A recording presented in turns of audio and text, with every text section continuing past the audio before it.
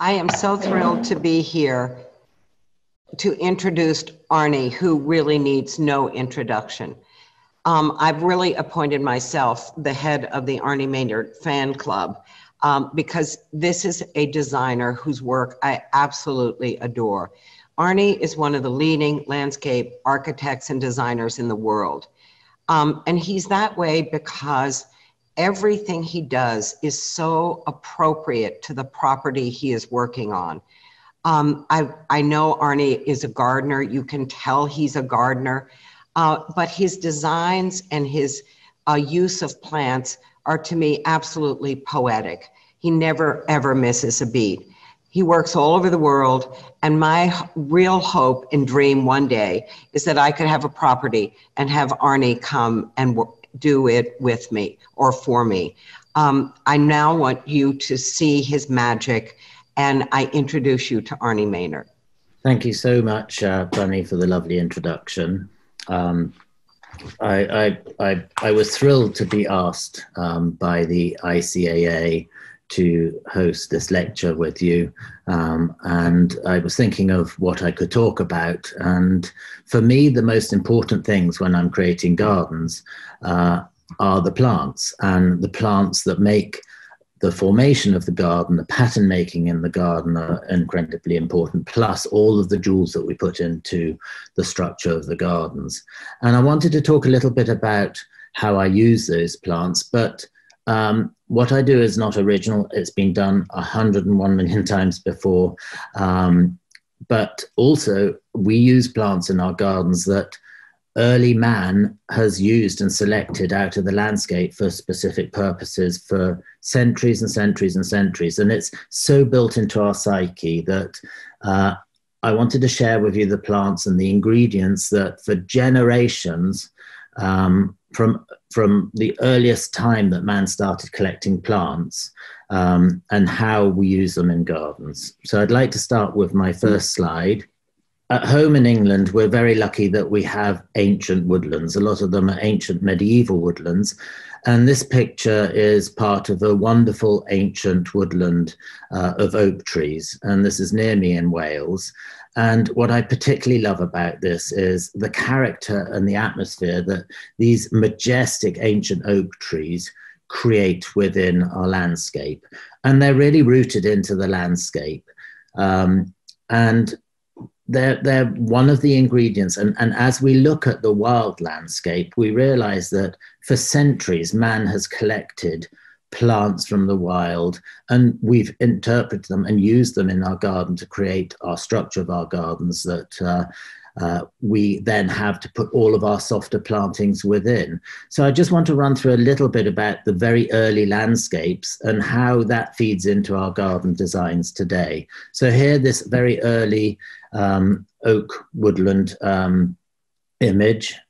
And this is a wonderful illustration from The Gardener's Labyrinth from Thomas Hill's book, which was written in or published in 1526.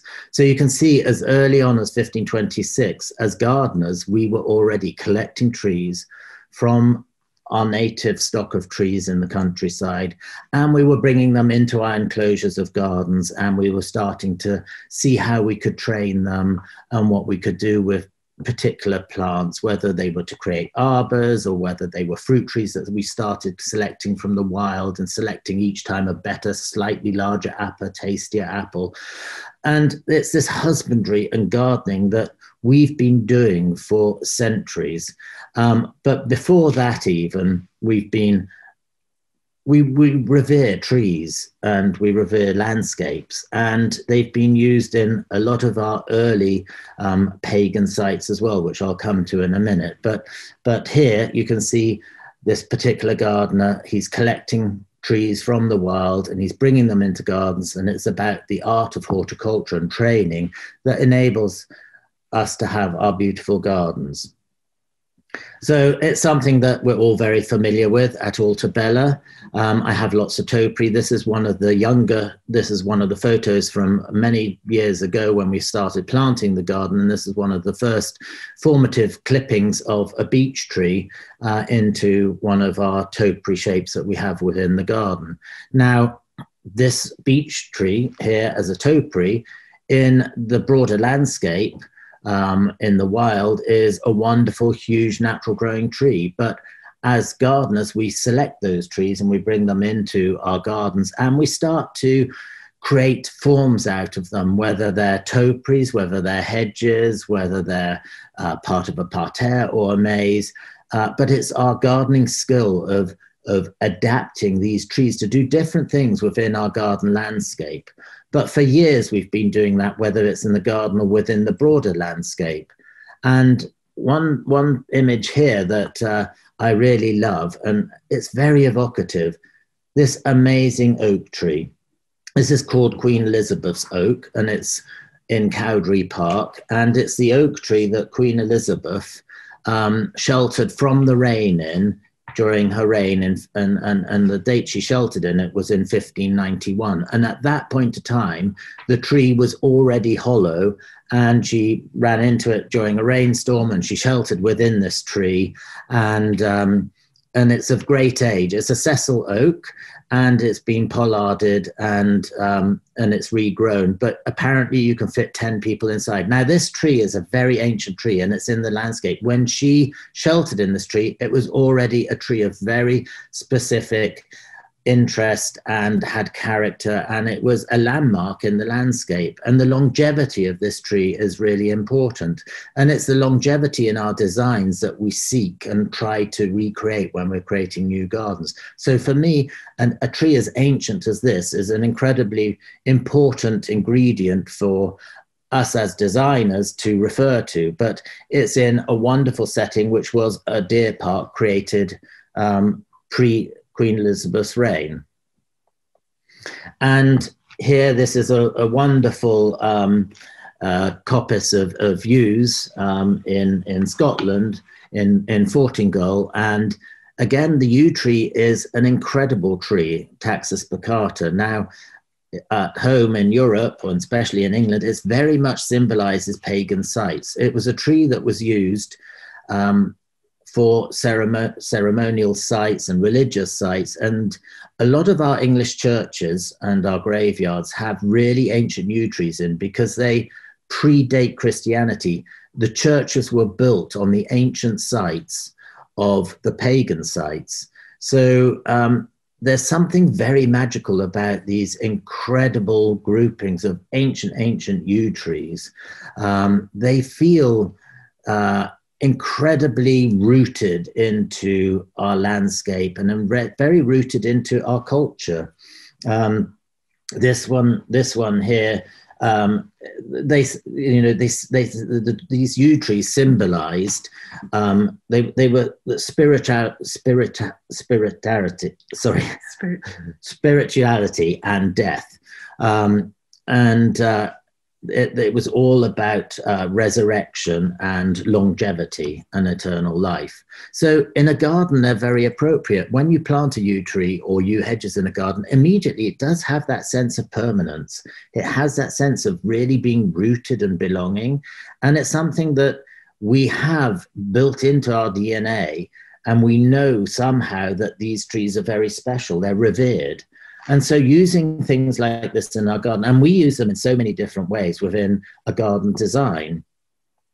And here you can see uh, this as uh, the Druids Grove in Norbury Park. Again, this wonderful ancient, um, this etching of this ancient uh, uh grove of, of ancient yew trees, um, which again, from these illustrations, you can already get this sense of, of, of, of, of um, I mean, it does feel very pagan and it feels very much part of our historical referencing. And later, you can see here in this churchyard, this is a really ancient yew tree, um, which probably predates uh, the the building of this church, and it would have been on on a on a pagan site that was later taken over by Christianity. And so these trees are really rooted into our heritage. And uh, this next one, just to show another example, is, is Devil's Hump. It's a burial ground in Sussex. And again, these ancient yew trees on, on the burial mound. So these trees, for me, um, represent longevity and represent, I guess, a spirituality. It's, it's, it's helping us to understand a very historic landscape and how certain trees were selected because they were very special. There weren't in England many evergreen trees um, before people started bringing plants back from different continents. There was the holly and box and the yew. Um, and so a tree that was evergreen in the winter was a very special thing. And so it's, it's linked with lots of ceremonies and winter solstice. And um, so in a garden setting, this antiquity plays a very important role. And the interesting thing is how man has always used trees within the landscape to create amazing effects. This is Hadrian's Wall in Northumberland, and this tree was planted in, in the Victorian era in the 1800s. It's a sycamore tree, but look how the estate owner planted this tree just perfectly in the gap between these two hills where Hadrian Wall runs over. You can see in the, on the top right hand side Hadrian's Wall, just threading up to the top of the hill. But how perfectly has this been placed in the landscape? Deliberately placed. This tree has been given a real status by the way it's been placed. So not only in gardens are we placing trees and, and, and, and using them in a garden scene, but here in this broader, wider landscape, this romantic version of, of creating this amazing, majestic planting with one single tree just in this perfect gap in the hills between Hadrian's Wall uh, is very powerful and strong. And so, from things like this, we're learning, we're bringing the broader landscape, the wild, into a more cultivated aspect. And the cultivated is part of an estate and it's man made, it's not an accident, this was planted.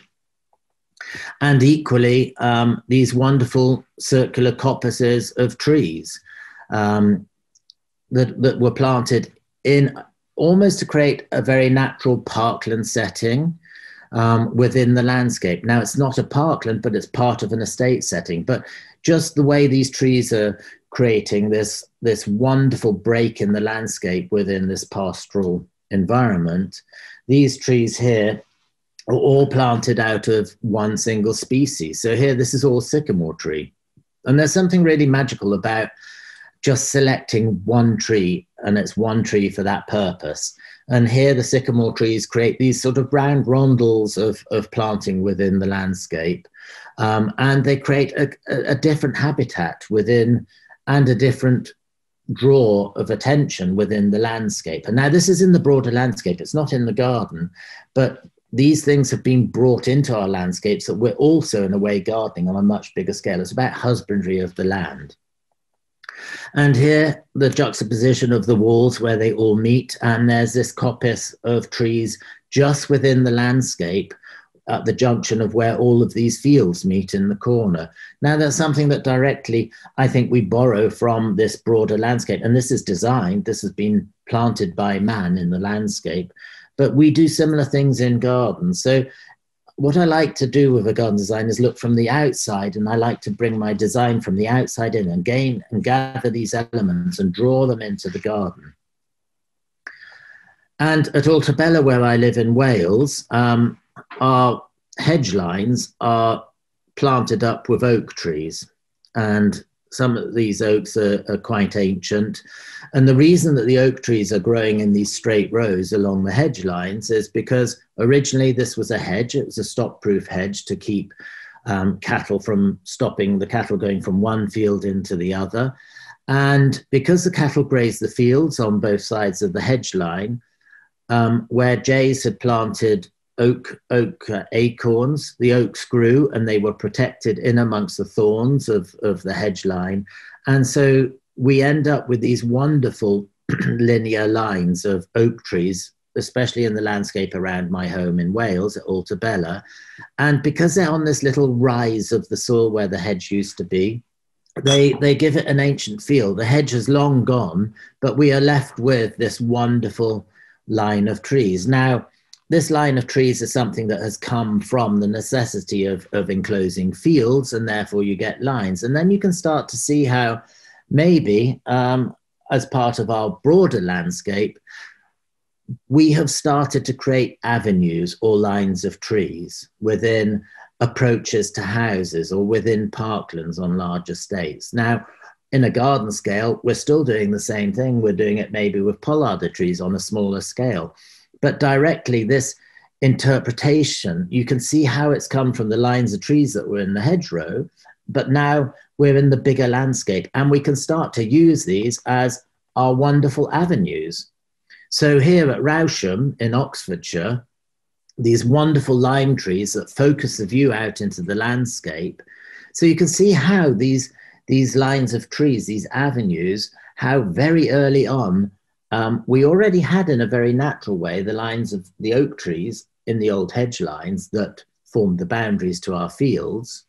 Um, but here they've been used as a way of creating an axis or rides through the landscape.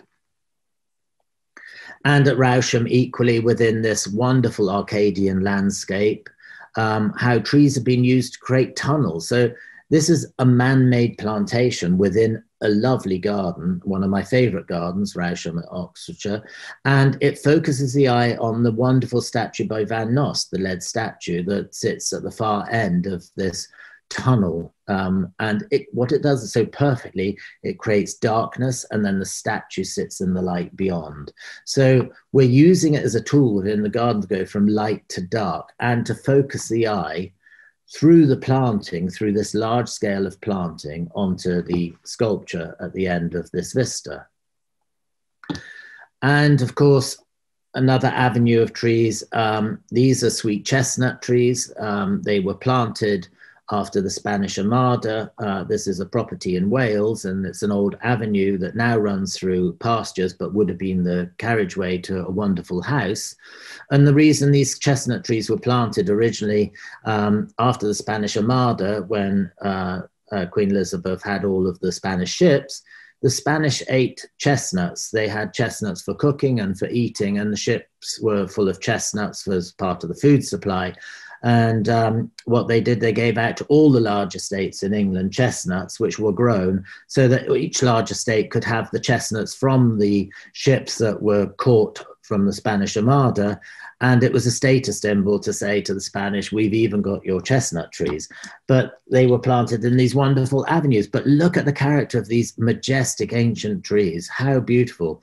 So, you know, and, and again these wonderful trees in in wonderful deer parks. This is the medieval deer park at Haddon Hall um, with the trees in and these ancient ant hills that create this tapestry of undulation with with with the ant hills in the landscape. Now the ant hills are in England protected. Uh, they take thousands of years to form, and it's an indicator of ancient meadowland. Um, and again, you know, a parkland, but a different parkland. This is Chatsworth. And here you can see this wonderful bucolic landscape, uh, which very, very organized planting of trees in rondels, in groups within this amazing parkland setting that is grazed. Um, and again, it's it's it's part of the view out from the garden. Here at Chatsworth, you have the formal gardens that wrap around Chatsworth House, and then you go into this wonderful park with the bridge over over the river, and back into this wonderful pastoral environment. This this very man-made environment, but taking inspiration from nature as we've always done. And copper beech trees are part of our landscape and that we use in gardens an awful lot. Um, and uh, the first copper beech was discovered in 1690 in Germany, and 99% of all copper beech descend from that one discovery. So you can see how revered the copper beech tree is. It comes from that one chance seedling that was found in 1690 and how we use it within our gardens in so many different ways. And I'll come back to the copper beech tree uh, later, but it's very much part of our design vocabulary for our gardens and landscapes. And here you can see at Montacute House, the wonderful copper beech tree again in the park, very, very much selected for its impact within the park, viewed from the garden. And again, with the oak trees and sweet chestnuts in this park, it's creating a very husbanded landscape. Here you can see the ride which comes out from the garden and a newly planted ride with new lime trees for the future. And also at Montacute House, um, we have another, it's a combination of a very formal driveway and a less formal driveway. So the larger trees on the outside are mixed, it's not one single species. So therefore the avenue effect is immediately more casual. Um, but it has two wonderful lime trees right at the end framing the driveway gates. So we're bringing the formality in there at the end with those two wonderful trees. But coming up to the house and going back towards the gate, you have Irish yews, which so they're, they're similar to our pagan yews, our very early yews that were used in, in, in pagan sites. But this is an Irish yew, so it's Irish, um, um, Buxus fastigiata, which was discovered in the 1700s in Ireland. But here it's been used to great effect uh, to create the formality along this driveway, the punctuation and, and the ability to lead the eye on. And it creates these layers of formality within the landscape. But all of these plants have been collected and used and adapted in a garden situation. And again, the yew tree here, so this is ordinary Taxus baccata, but it's been clipped in the most fan- fanciful way and in a very fantasy like way. This hedge has an organicness to it, it has scale. Now, this hedge is hundreds and hundreds of years old, and that's why it's so nice using Taxus yew within within a garden because immediately when you plant it, even as a small plant, it just has that sense of longevity. And that's because it's so ingrained in our own own makeup, our DNA makeup of garden design. We've used it, and early man has used it so much. It's such a sacred tree that as soon as you put it into a garden, it has a sense of permanence about it. And whether it's that one hedge or whether here also at Montacute, it, it gets clipped into all of these fabulous topiary shapes. It's all the same plant um, but we have many different adaptations of how we can use it and how we can use it within a garden sen- within a garden setting. But the, the thing is, it is about the love of plants. It's about creating gardens by using these majestic, magical plants that we have as there are brushstrokes. There are pens that we paint the garden with, and they create punctuation, they create enclosures, they create uh, natural woodlands if you want to create natural woodlands, they create coppices. So there's many different ways that we can use the same plant. And one of my favorite uh, um, plantings is actually at Chatsworth again. The late um, Deborah De- Duchess of Devonshire um, created this amazing serpentine hedged walkway uh, that leads through part of the garden. Now, you have oak trees in a very natural way to either side of it, but what's really beautiful is this very designed and man made serpentining hedge and beech. And of course, we all know what a big beech tree looks like in the wider natural landscape, but this is the same plant and we're using it, we're bringing it in from the outside world, we're taming it, we're doing something completely different with it.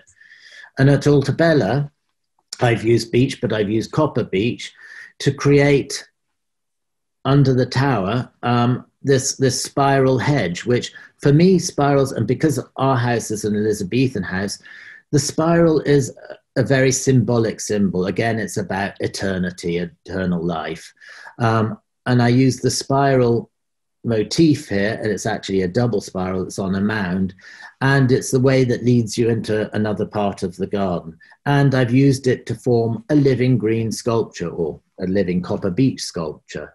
And you can see in the distance behind the green beech topiary, there's a young copper beech tree. It's a, a, a, variety of beech called Roseomarginata. So it's Fagus sylvatica, Purpurea Roseomarginata, that has a wonderful pink edge to the leaf that you only notice when you stand under the tree and look back up through its branches. And it's as though each leaf has been cut and looks like lace. Again, this is a particular seedling that was selected, and now we introduce it into our gardens and we use it to great effect. One of the nicest ones I've ever seen is on the Stourhead Estate in Wiltshire, um, and if anyone ever gets the chance to stand under it, it's one of the most magical things to look up through the Roseomarginata to see this lovely lace, lacy effect you get with the sun shining through uh, the copper leaves with the white edges to the leaf. So single species planting is something that we have done for years, centuries and centuries. This is a beech woodland. A lot of our single species woodlands were planted as plantations in the um, Victorian period. Uh, but what I love about it is the tranquility and the, the purity of these single species plantings. And it's something that as garden designers, we use a lot in gardens. We, we decide just to use one particular type of cherry blossom in a garden because it's stronger by just using the one. But it's come from the outside, from our wider landscape. And it's something that I've grown up with and I've seen through my childhood and my adulthood. And it's something that is so familiar to me, this single planting. And there's a purity and and, and an elegance that is produced by this. So whether it's this beech woodland or whether it's a hazel coppice, and this hazel coppice is is planted for the production of, of, of either charcoal or for for other other uses for young wood. Um, but I particularly love just the purity of the fresh green and then the carpet of bluebells in the spring underneath.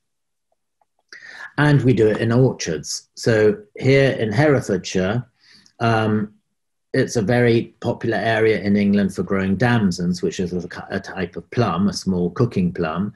And the, the, the, the, there's a great deal of of, of elegance and power with just one variety planted together. And I love that it all flowers at one time, but this is very much an agricultural field.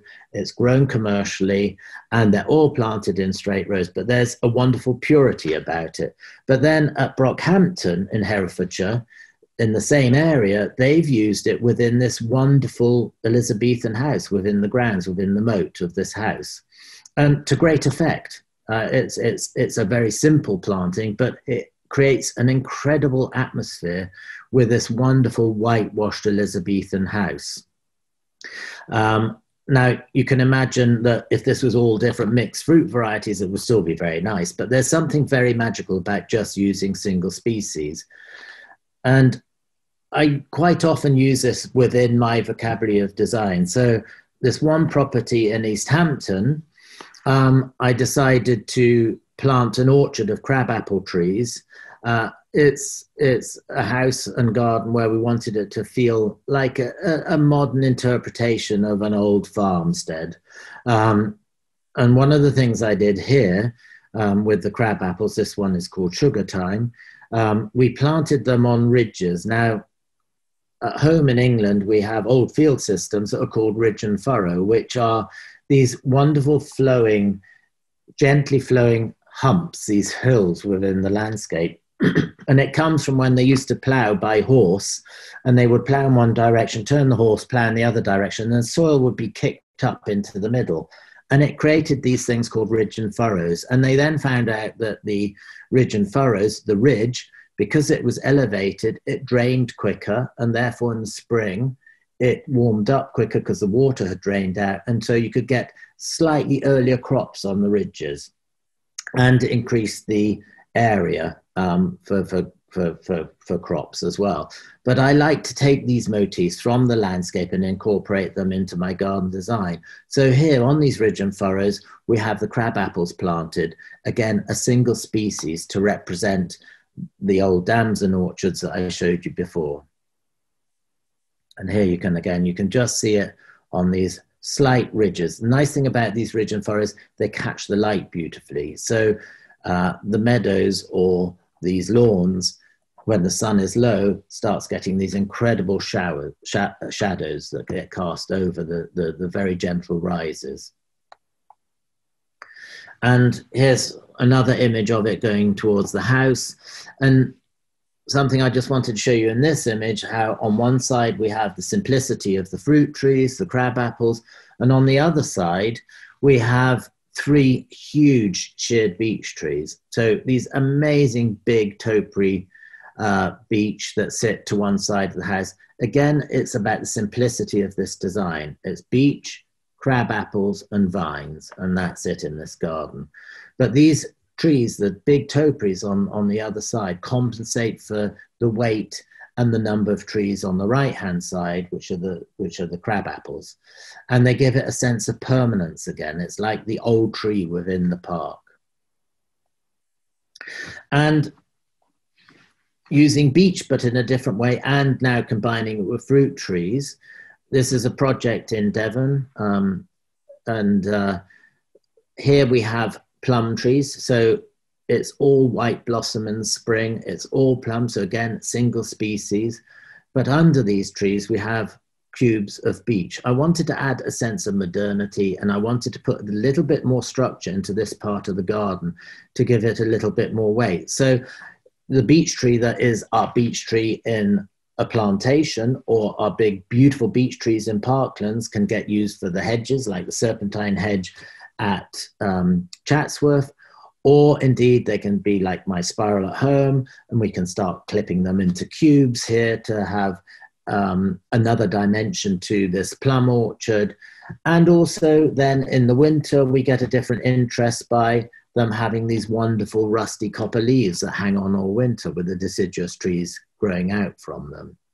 So you can see how something as humble as the beech tree that grows within our landscape gets brought into our parks and, and, our, and, and, and, and the wider landscape and, and is a wonderful specimen tree. Those specimen trees also feed back into our gardens as our wonderful specimen trees on lawns and within, within the gardens.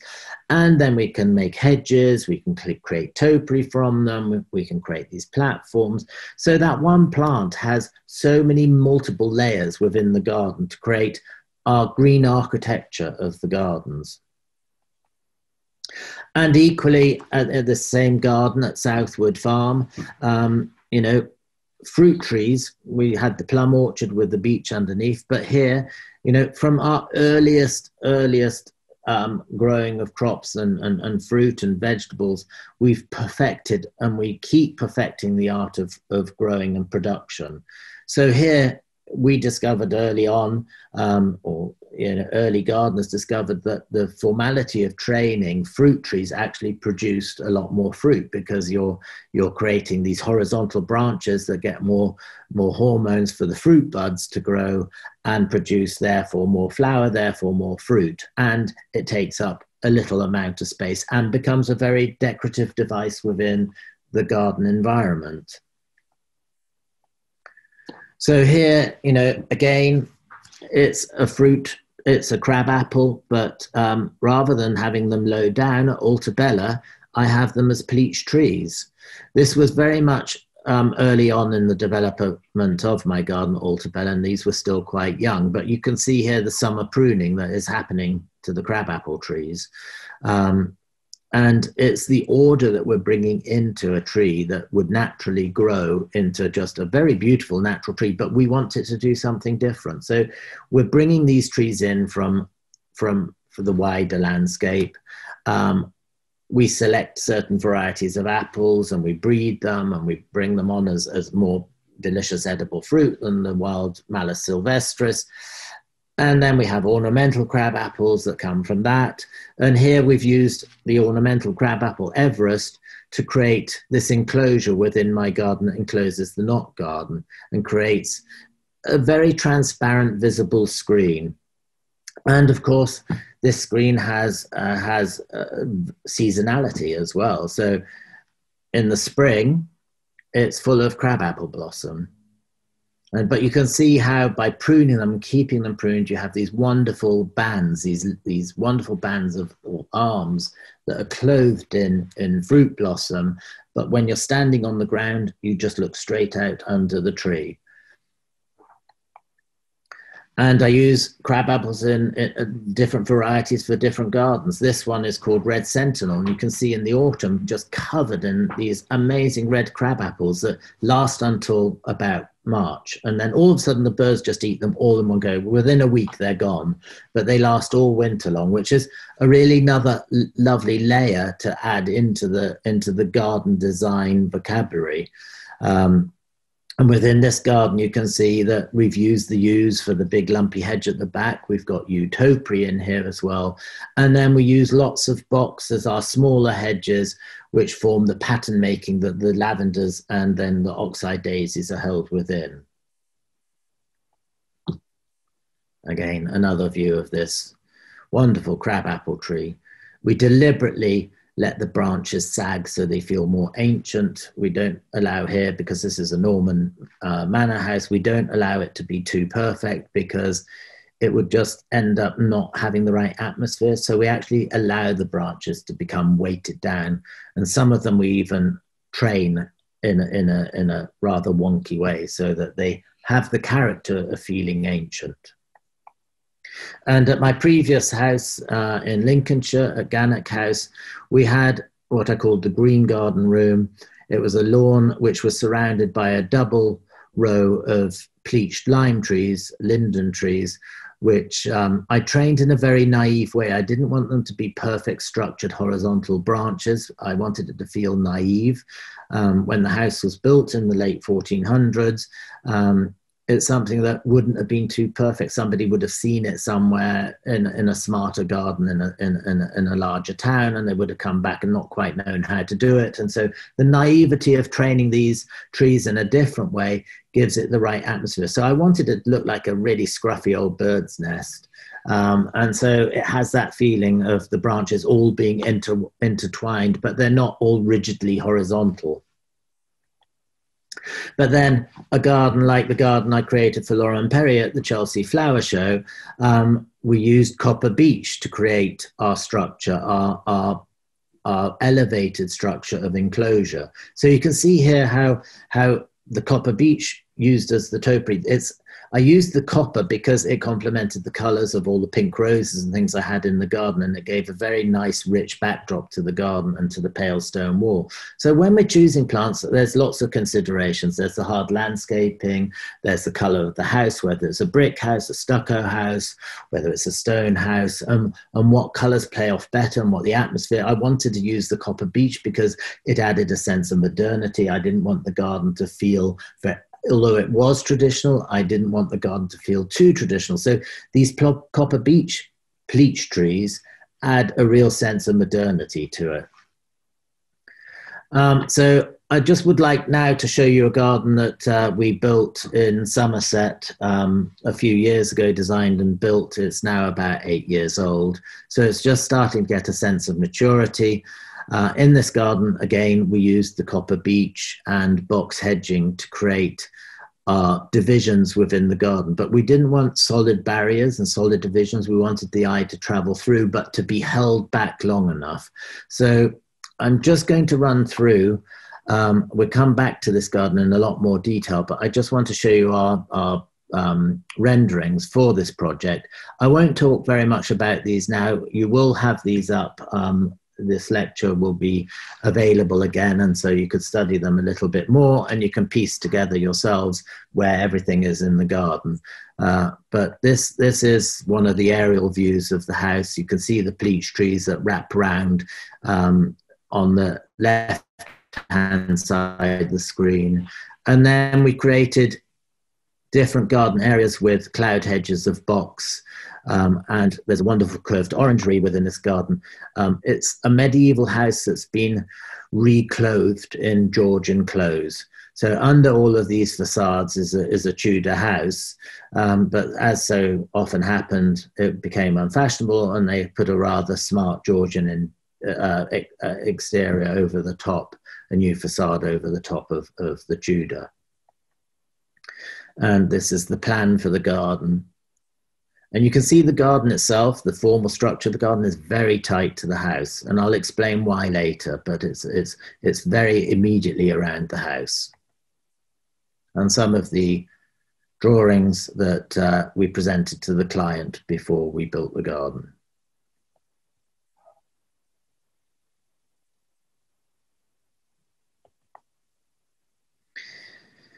this garden sits particularly beautiful, beautifully in the landscape. Um, and although the landscape which used to belong to the house no longer belongs, we still are able to take advantage of what previous generations have planted in the parkland beyond, um, beyond the garden itself. And we are able to borrow that landscape and the planting from the wider landscape and draw it back in into the garden environment. So here's the view back uh, across one of the lawns uh, to the main facade of the house. Um, you can see the garden is very tight up against the house. The reason for this is that the landscape is very powerful and there's something rather magical about these large expanses of grass. And we didn't want to distract from the view that you got from the house looking out into the landscape. So we kept the landscape of the garden or the more intricate part of the garden very close to the house itself. And we demarked the boundaries of the intensely garden flower garden um, with, you can see on the left hand side, the cloudy box hedge, again, keeping it low. So when you're in the house and you look from the windows out, because all of these Georgian windows, the sill height is very low. So when you're, it's all about the view out. They were designed to be sitting down in the house and have these great views out into the landscape. So we don't want to block that off. We want to enable people still to celebrate the view as the house was designed. So our cloud hedges of box are kept low, and then we mark the center of the house with four large topiary um, standard uh, beehive topiary domes in Copper Beech. Now, the reason we chose the Copper Beech for this garden is that um, to the right of the house, there's a church, and the church has a double row of copper beech trees that runs up to the church, and they're very dominant seen from the garden, and you'll see some images in a minute. But here, so we've borrowed that same language of the copper beech trees that were planted to get to the church, and we're bringing it into the garden. So we're uniting the garden with the history of the planting of the beech trees to the church, and they create the punctuation and the boundaries to the garden in a very transparent way, leading back out into the landscape. And the box hedging that runs on both the right and the left hand side that creates the division from the wider landscape and from the lawns also helps to create our areas of garden that are gardened. And the reason we have all of these structural plants is it is for the love of plants. It's for putting our beautiful jewels within. So now we've created these picture frames and these frames that frame all of the wonderful soft planting that we put in. And it enables us then to be able to add flowers into these areas and create different atmospheres and different color schemes within these different frames. But before we come to those images, just show you one more here. The copper beech trees are above the orangery and they run up to the church. So you can see the referencing back to the topiary trees that demark the edge of the more intensely gardened area and how the lawn just flows through and the lawn flows out and then the lawn goes out into the um, landscape, which is a grazed landscape with meadows and grass beyond. What's particularly beautiful about this house is this wonderful curved orangery that sits to the side of the house. And here within these one these these these cloud hedge enclosures, um, you can see that we start coming into the garden, and this is where it becomes more flowery. And for this client, we wanted again to create something that was very elegant and very simple. It's all created with white flowers in this part of the garden. It's called the White Garden. Um, and it's further highlighted with this lovely sculpture that sits at the end of this border. And behind it the copper beech again. And then a cross view back towards the copper beech trees above the orangery and the copper beech that demark the edge of the intense garden side into the lawns.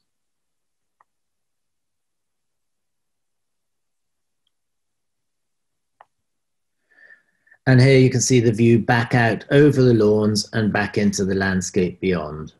So by creating a garden that is tight to the house, we give much more to the lawn here, which immediately links it to the landscape beyond in a better way. And enables the garden to feel part of the landscape in a better way. It, it, actually draws the two together much better. If the garden expanded too far out, it would foreshorten our view in, into the distant view. So very simple planted palette, the old existing chestnut trees, a view through to the church and the topiary copper beech. And one of our, our main constraints that we had was trying to hide cars and trying to hide cars from the upper bedroom windows. So one of the things that we were very keen on is using the copper beech tree so that when you're in the garden, the hedge hides, hides the cars, but when you're in the up on the first floor, the copper beech trees hide the car. But it creates an enclosure on the inside as well as screening from the cars on the outside. And as you come up towards the door of the house, you come up a flight of steps, and then you go along with a reflecting pool on one side, which reflects the lovely columns of the portico um, and takes you to the front door. Now, interestingly, the, the, the, the, front door is in this rather unique, wonderful, um, covered covered um, outside portico, which is at an angle to the rest of the garden. And it's in beautiful, the house is built in beautiful hamstone which is this wonderful golden colored stone. So here you can see our hedges have changed. They're no longer cloudy. We've come into the more formal part of the garden by the main entrance to the house. And here we cut the hedges square and straight. And again, they're in box. And in contrast to the cloudy box under the pleached copper beech trees. So the same material used in a different way to great effect. And here by the reflecting pool, Again, just these layers of clipped shapes, creating the sense of some sense of antiquity, but also with this modernity. And then within the main courtyard garden, looking back um, across the reflecting pool, we have what we call the knot garden, which is filled with lavenders in the summer. And we've created this out of, again, the box cut square, but the box are at different heights. So we're, we're, we're, we're reflecting the tradition of knot gardens where sometimes the hedges dip under and over another hedge, but we did it in, in a more contemporary way. So they're not dipping in and out and under, they're abutting up to a taller hedge. Another view from the door of the house out into, into the parking court beyond. And here's the knot garden um, with hedge heights at different heights. And this ends to, in this part of the garden is enclosed with this wonderful curved wall with these urns on top. And there's a wonderful archway on the left hand side by the stable that takes you through to the stable courtyard beyond.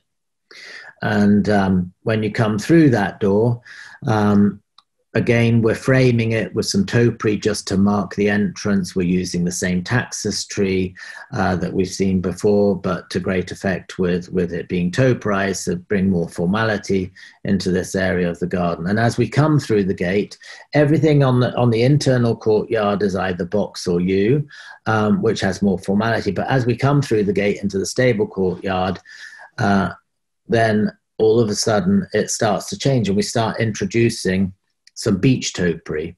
So we're lessening the impact of formality by adding another layer, which is the beech. And here it's green beech. So we're dressing it down again. The hierarchy is copper beech near the house. And when we come to the outer areas, it goes to the green beech. And it's mainly beech with the odd yew topiary. And it's coming out of just this chipping, limestone chipping surface. So again, we're, we're lessening the formality. But then as yew leave the property, you go out of the main gates, um, everything here is in Taxus, is in you, because it has that feeling of antiquity, of great age, of, of longevity, of tradition. And so it's more appropriate here to have this all in Taxus rather than start mixing it with the beech. And coming back into the stable courtyard, looking through the arch, uh, the beech and the self cedars in, in the chippings. And then as you come up to the back of the house, this is the day to day entrance that the family uses. Then we start layering it up again. We create an enclosure by adding the pleach crabapple trees, and they sit in front of a copper beech tree hedge. So before they came out of the cloud hedge of ta- uh, out of box, now they sit in front of a copper beech hedge. You can see the large copper beech tree on the uh, top left hand side of the screen and this takes you to the back door the everyday door that's used by by everybody and it takes you um, neatly into that area which is is a winter knot garden but again here we've enclosed the area where the family park their cars so that when you're in the upper levels of the garden uh, up on the, the higher end of the garden you don't look down onto cars but we've lessened the formality by having them as fruit trees these are the steps that go up to the vegetable and cut flower garden here.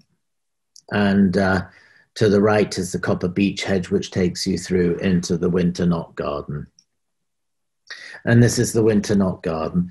So this knot garden is created with, with box hedging on the outside, and the crisscrosses in the middle is sarcococca uh, which is also known as winter box. So in the winter, it's a very highly perfumed garden. It flowers and it's sweetly scented. We have topiary of osmanthus, which you can see on the left-hand side of the screen, again sweetly scented, and it's full of hellebores.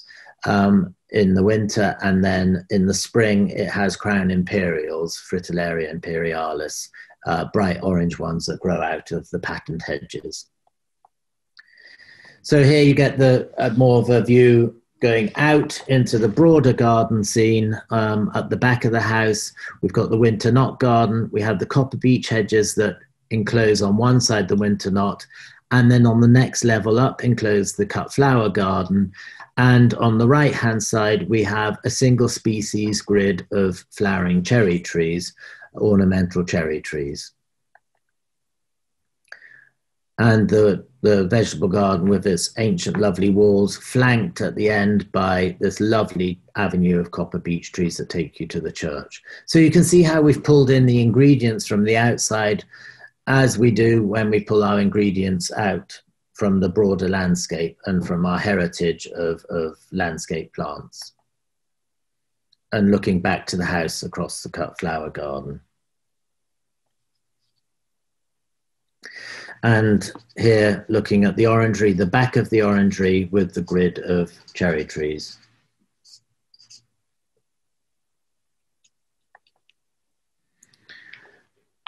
And this is um, a photo taken from under a really incredible um, sycamore tree, uh, a London plane.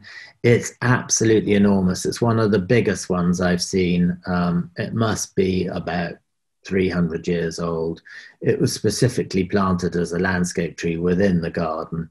And from here, we have this wonderful um, swing seat that hangs um, that, that adds again a bit of modernity. And from under this canopy, you look up to the garden with the box hedging that encloses the white garden.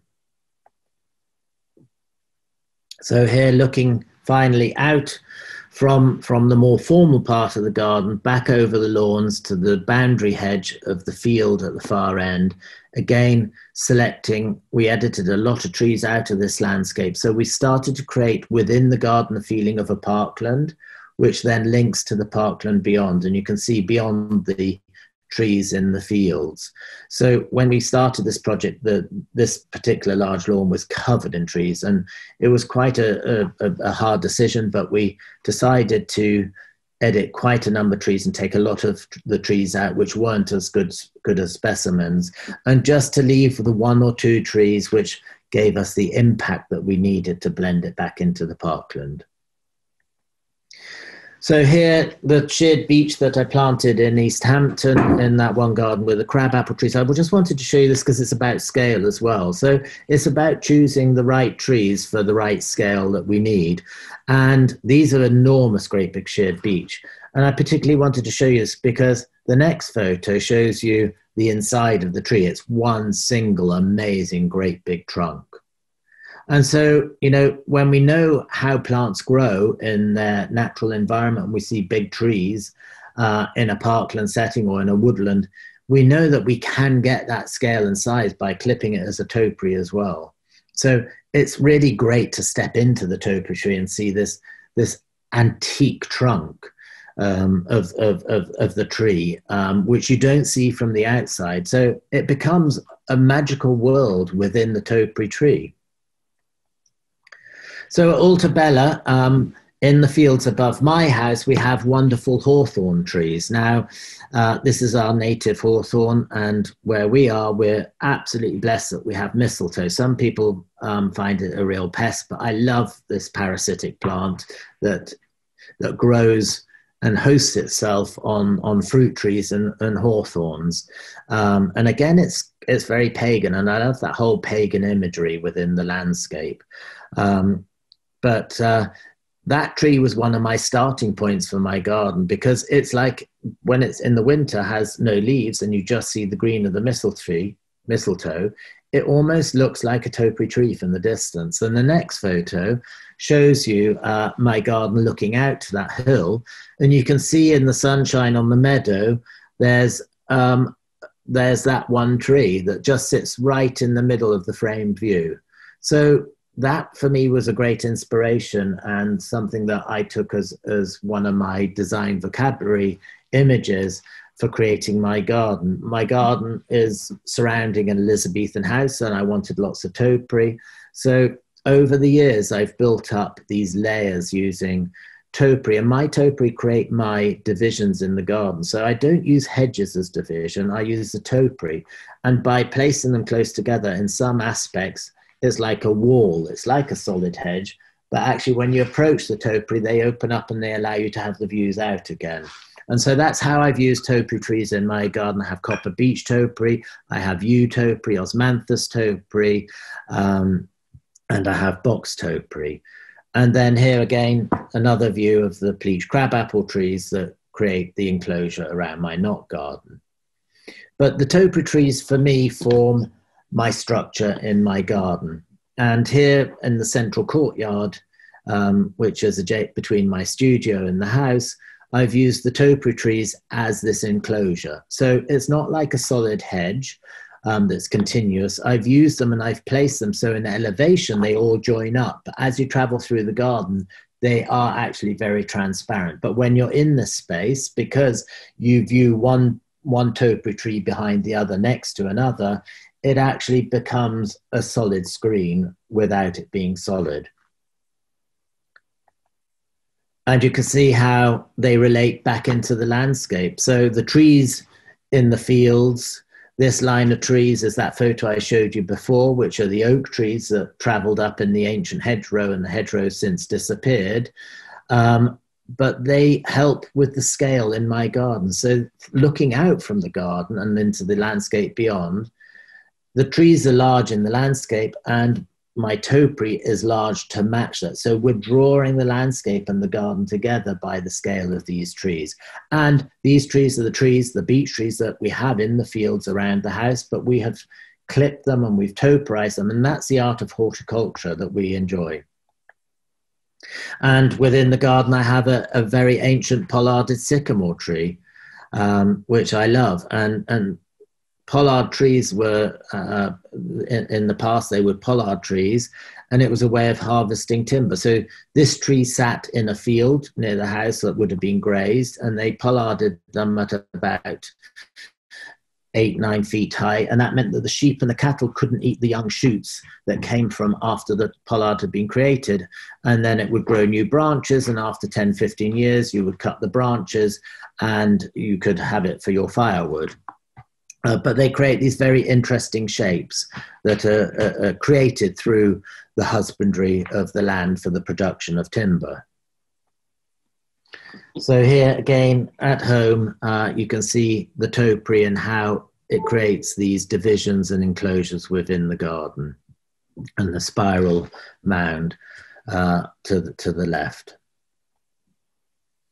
One of the things that, again, um, I like to try and experiment with and use, and it certainly isn't unique and it's been done before, um, is using hawthorn as hedging. Now I've used them here for my knot garden by the studio, and I keep them really th- small. It's it's it's Crataegus. Normally there are field hedges that surround um, all the land and, and the fields around our house, but here I keep them at about 14, 18 inches high.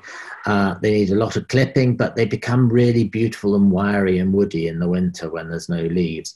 But it's the naivety of this plant that I wanted to capture, and it's the naivety and and the use of the material that links it back to that one tree that had the mistletoe in in the landscape. And so this is a reflection of of, of that.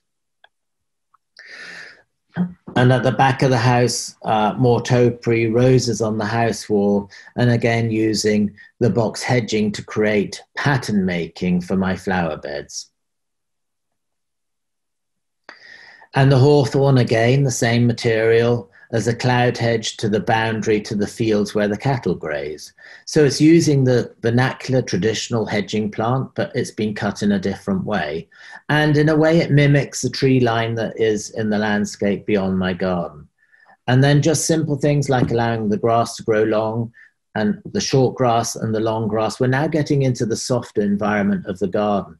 And so by having these flower studded meadows, within our framework of the planted architecture um, creates a different softness in the garden.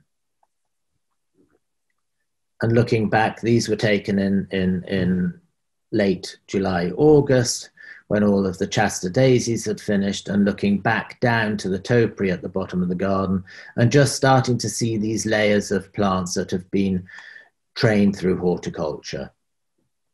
And as you step into the vegetable garden, we then have the color and the softness. Now, this is really the point of the lectures that we create our gardens and it is for the love of plants. You know, there are thousands of plants I want to grow and I can't grow them everywhere in the garden. So I create these areas that I grow my collections within. This is the vegetable garden. It's my potager. It's where I grow my vegetables and it's where I grow lots of flowers for cutting for the house and medicinal plants. So its its purpose is for production of a particular group of plants. And that's the whole purpose of creating these garden rooms, garden enclosures, and creating the design of the garden is that we want to fill them with the softness. So we've talked previously about the elements that create our structure in our garden and the whole purpose of that structure so that we can now really embroider the garden with the pretty flowers and we can add that luxury of color into the landscape into our gardens that very personalized intimate feeling and so here I've got roses and calendulas. This is one of my favorite roses. It's a pale peachy colored rose called um, um, Jude the Obscure, and then pot marigolds. And then looking the other way into the vegetables and back out into the landscape. Of course, a kitchen garden, vegetable garden is not complete without sweet peas, and then that takes you through to the cottage garden beyond, again, full of soft planting, phloxes, veronicastrums, Althaea cannabina, alliums, roses. So it's the softness that is, is, is planted within the structure. And then the plants that I have in the cottage garden, I've started planting in my meadows. So I bring the veronicastrums that are in my cottage garden and in my borders, and I put them into the long grass in the areas where we meet the natural meadowland on the outside of the garden, whether it's roses or veronicastrums, wild scabious. And then finally, as we leave our property, um, here's a tiny little crooked um, old hawthorn that was just a, a, a, raggedy old bush that I clipped into a topiary. Um, and I was really inspired by ladies, the Lady Salisbury's garden um, at Hatfield Palace, and she had at the old Bishop's Palace there, she had wonderful hawthorn topiary. So as I said before, nothing is original, it's just the way we use it is original.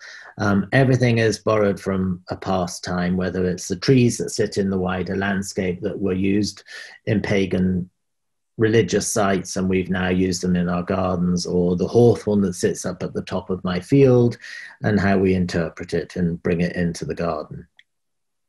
So, and again, you know, what we do with the plants here, this is at Eyford Manor, and I particularly love this image. It's one of box hedging plants that the lower half is clipped where they can't reach, it's unclipped. But immediately, it's a good photo to show you what it's like when it's loose and wild and what it's like when it's been tamed. Um, and so you can see how that one plant has a very different feel clipped or unclipped. And at Haddon Hall, um, this wonderful um, medieval house, Tudor house, um, we again planted topiary trees within a wild flowery mead to create the atmosphere that was needed for this property. And you can see how the topiary trees link in with the deciduous canopy of the deer park beyond. And they come, they all grow from this wonderful wild meadow where we've also introduced martagon lilies and other species perennials and bulbs. And then coming back across to America, this is a project we're working on in the States, in upstate New York. And this is the view from um, uh, down onto the Hudson. Um, and I really love the uh, Kalmias. And this garden was originally planted up by an American designer called um, Ellen, Ellen Biddle um, Shipman.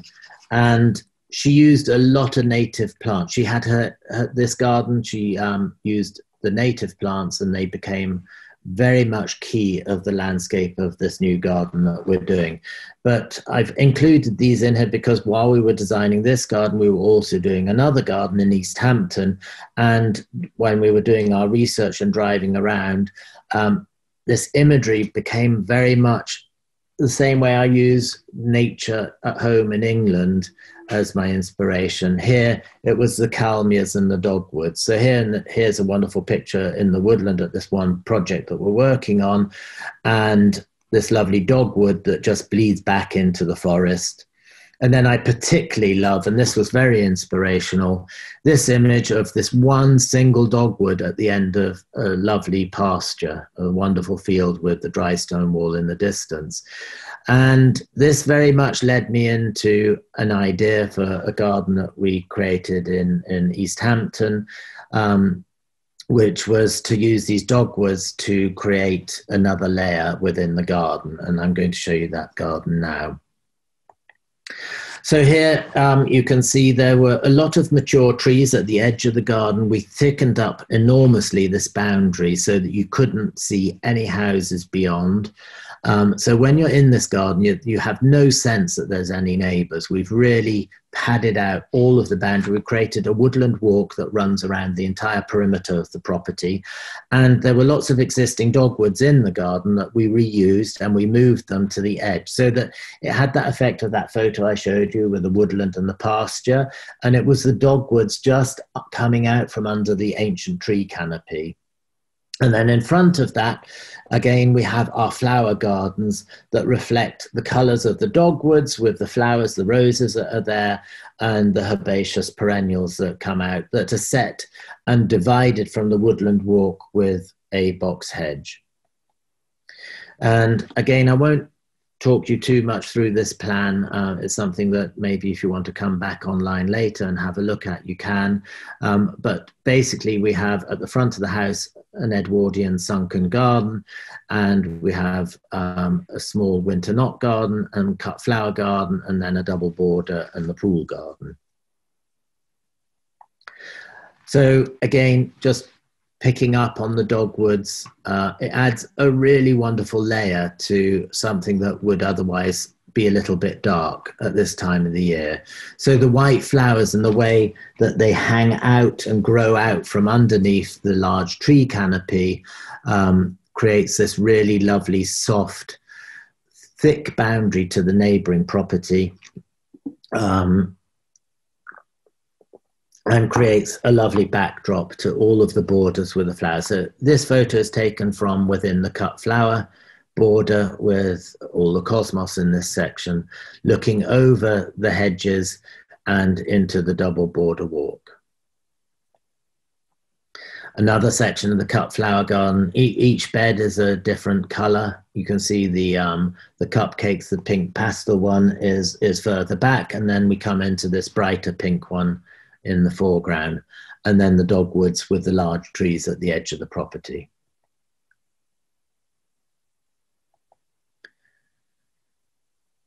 And again, the cut flower garden, we wanted to be very soft. We wanted to feel very meadowy because we have a lot of structure within the garden. So all the planting of the flowers are deliberately designed to feel very soft, very meadow-like, so that they're in contrast to the formality of, of the structure that we've planted and made with using our hedging plants within the garden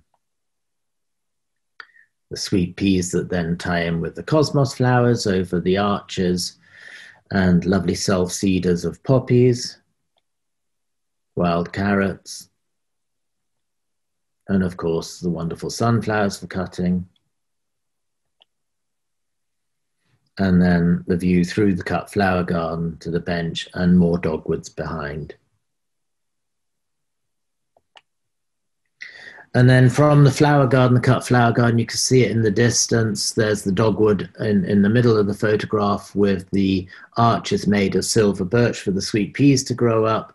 And then we have coming from that a double border that comes and travels with a path coming through under the rose arches that circumnavigates parallel to the uh, woodland walk. And the cornus all hang into this border on the right hand side. And the border here is made of very soft colors, creams and whites and peaches, and then the, this wonderful agastache and this wonderful lavender color.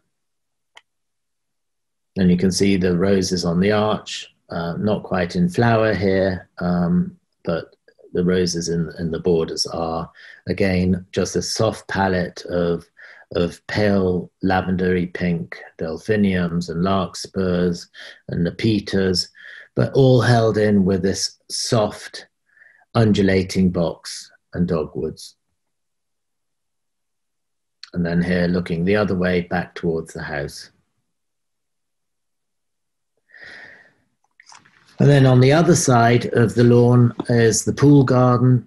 And again, this pool garden is quite structured. Of course, the pool is very formal in its shape.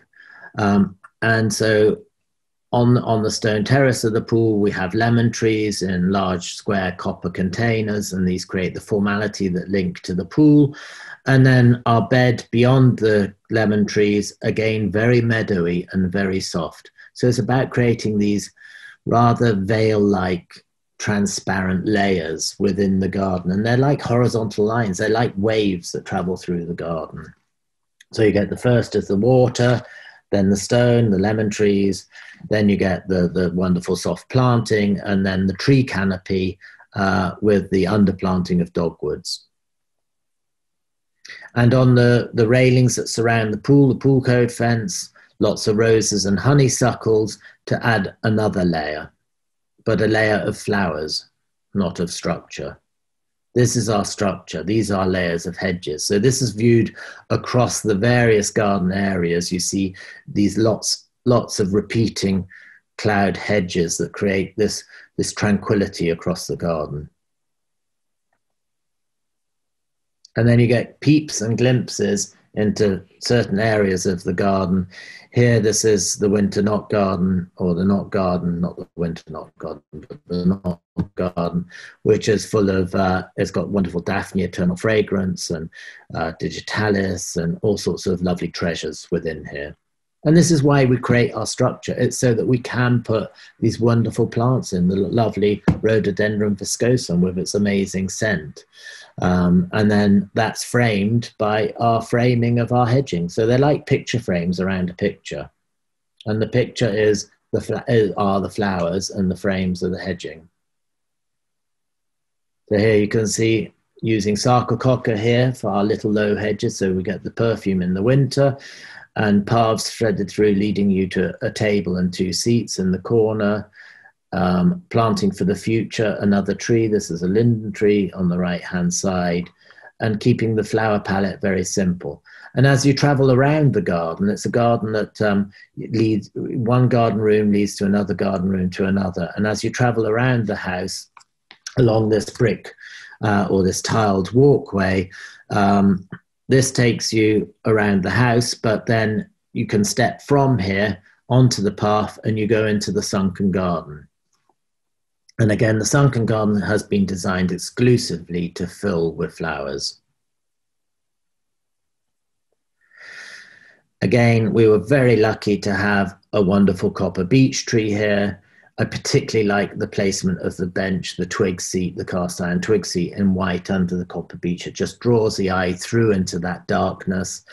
But then in front of all of that, we've got this sunken garden that is just full of Edwardian style flowers, lots of astilbes, roses, lavenders, um, self seeded poppies, eupatoriums. Uh, it's an endless list, very cottagey, very informal, meadowy planting.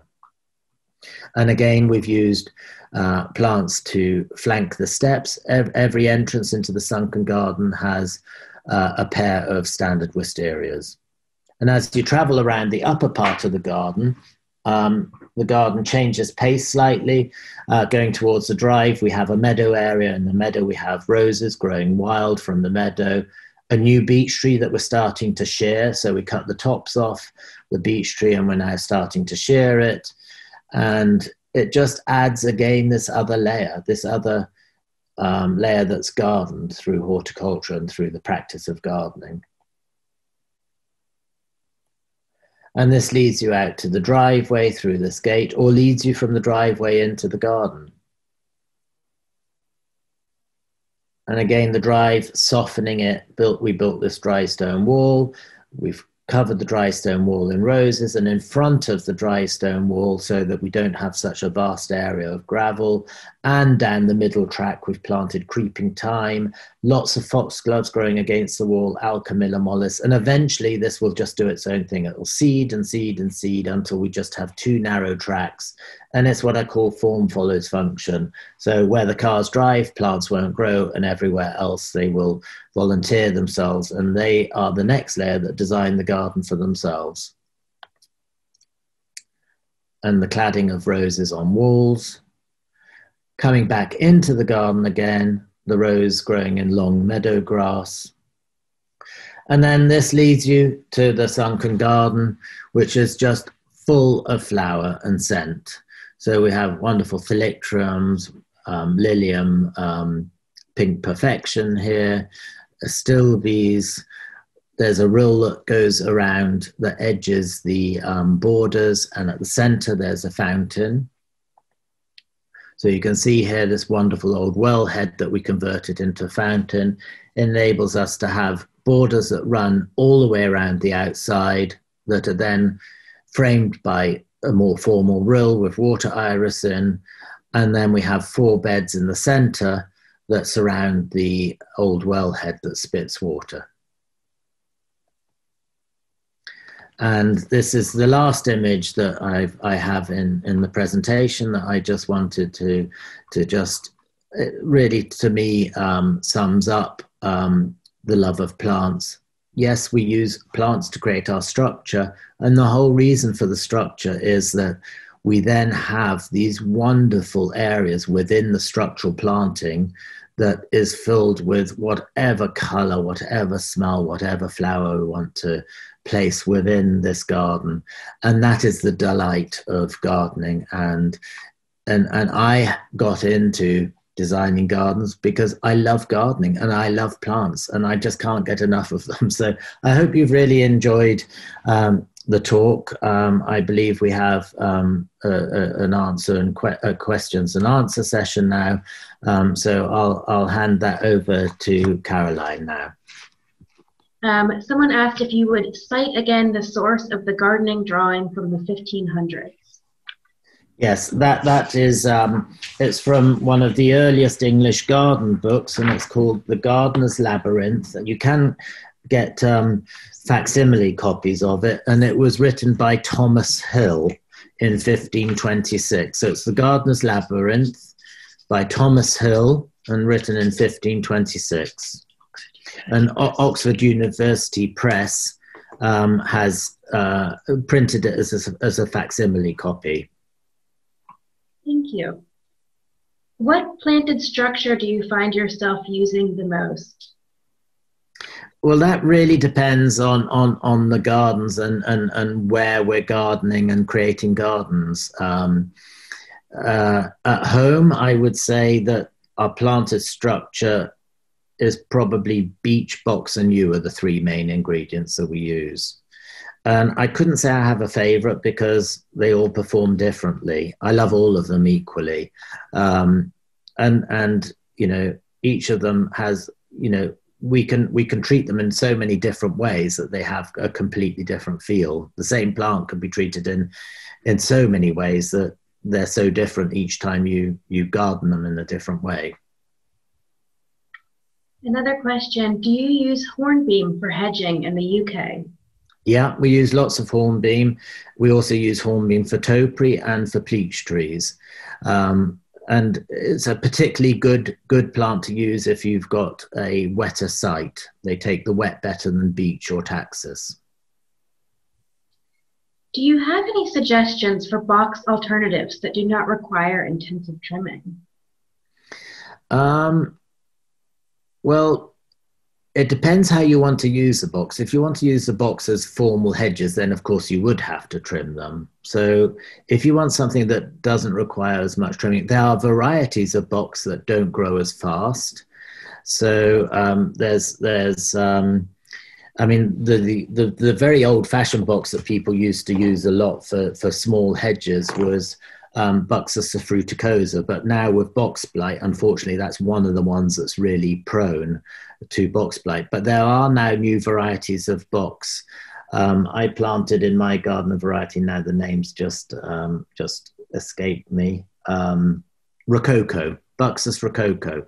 And that has a very natural way of growing. So it naturally grows into these cloud shapes that you don't need to prune it. You just leave it and it grows quite slowly that it's sort of, and it's very relaxed. So it actually forms these very natural cloudy shapes. So that would be one if you want the structure and you don't want to be forever pruning it would be a better one. And and it is actually very resistant to box blight as well. So you've touched on this, but one of our audience members wants to know how has the box blight affected your extensive use of box? Um, it's affected us really badly. No, no, and it's affected everybody everywhere badly. You know, it's such a staple part of our design vocabulary, and it's one of my favorite plants. I think, as you asked the question, which was my most, you know, the one I would use, it would be box. Box would have to be the one I'd like to use the whole time. Um, we have some clients are completely organic and we treat box with an organic um, uh, uh, um, um, preventative of uh, box blight. Um, and that seems to work well. But at some point, you always get the box blight. But I'm still persevering. I'm not going to give up on it. Um, uh, so, you know, we try as hard as we can. It's about creating good ventilation, keeping the plants clean. I have boxing. I've just had another attack of box blight. I then cut all the affected bits out and it regrows. And every year I go through the same cycle, but um, at least by by May it's looking good again, and I feed it and feed it and feed it. Thank you. A few more questions. Are magnolias planted in the UK? Yes, we plant magnolias. Um, uh, we we grow a, a lot of different types of magnolias. Um, I use a lot of Magnolia Soulangeanas. One of my favorite ones is Elizabeth with that lovely pale yellowy lemon color. Um, there's another one called Heavenly Scent that is a beautifully scented spring flowering Soulangeana. But equally, we use grandifloras um, and uh, we use stellatas. And yeah, we're, we're, we're very lucky because we're actually very mild in England. So we can get, we can, we can grow a lot of um, magnolias that uh, in certain parts of the state on the east coast you wouldn't be able to because it's too cold. So with our Gulf Stream, we can we, we tend to be able to grow an awful lot of magnolias. And something else you touched on a little bit in your presentation, but what are some ways, in addition to using larger plant material, to add a sense of age and history to your garden? Um, well, I think I mean, one one thing that we do a lot with with fruit trees is when we're planting, especially especially espalier fruit, we actually deliberately weigh the branches down and bend them down right at the beginning when they're really young, so that after five years they already feel like old trees that have gnarly branches. So part of our horticultural practice and the way we garden those plants as young plants, we're already designing into them and creating that sort of feeling of sagging branches. Um, the other thing that adds a great sense of, of maturity into a garden is right at the beginning, we do a lot of self seeding. So if we create a formal border and we have paths that come up to the borders and we can sow into either the joints in the paving. Right at the beginning we'll already when we plant the garden up sow those joints full of the same plants in, or some of the plants like alchemilla mollis that are in the borders so immediately we're softening and we're invading the areas where maybe they shouldn't be and we're bringing them into other parts of the garden and letting them establish so that it looks much older because they've escaped from the borders and they've come into the paths and into the driveways. Similar to the photo I showed you at the end, the driveway of the property in East Hampton, where we've deliberately planted into the drive in a way that would happen if we left it, but it might take 10 years. Fascinating. And we'll have one last question regarding larger scale heritage trees. What is your approach to pruning or altering the shape of these trees that are outside of the primary garden area? Um, well, it, it depends completely on the tree. Um, what I really like to do when they're really ancient heritage trees is about the longevity of them and the health of them. So that's my principal driver. Is um, any work that would be done would be to make sure we keep the tree as long as possible um, and and uh, take damaged and rotten wood out. Now the view of that is changing um, now that they believe that actually it's better to leave the old wood in the trees that it's better for the tree to leave them so we're sort of on on on a cusp of we used to really look after them and cut all the dead wood out but now the belief is and i actually i'm changing and i actually like the trees when they're not these ancient heritage trees, um, leaving leaving the the dead wood in in them. Sometimes we slightly reduce the canopy of trees um, so that um, we can stimulate new growth if needed. And um, other times, such as oak trees, um, they naturally sometimes go through different stages of life in their life cycle. So they naturally prune themselves. So with oak trees, you quite often get the upper branches die back, but it's a natural way of regenerating lower down. Um, and that in, in itself is beautiful. So it, it, it's varied. Um, but generally, we, we, it's about looking after the trees the best possible way um, um so that. Uh, uh, we, we have the trees as long as possible and we have them with us for as many years as possible.